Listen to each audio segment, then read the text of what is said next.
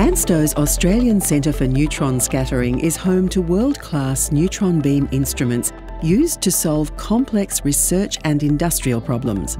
ANSTO's 15th neutron beam instrument, Spatz, a neutron reflectometer, was transferred from the BER 2 research reactor in Germany under a donation agreement with the renowned research organisation Helmholtz Zentrum Berlin.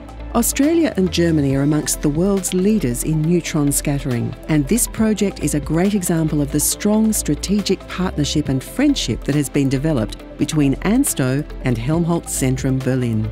After many months of planning, a joint ANSTO Helmholtz Zentrum Berlin project team spent four weeks dismantling the complex instrument.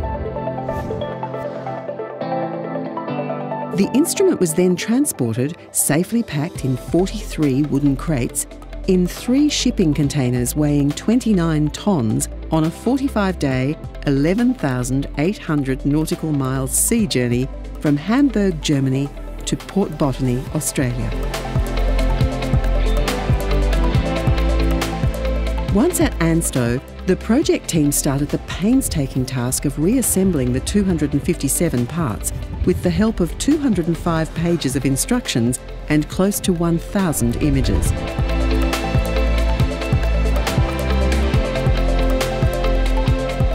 Spatz will complement the existing suite of ANSTO neutron beam instruments and continue to be used in a vast array of biomedicine, energy, and materials research in Australia. Hundreds of Australian and international scientists, including from Helmholtz Zentrum Berlin, will continue to benefit from gaining access to this state of the art instrument, ensuring it continues to deliver big science outcomes.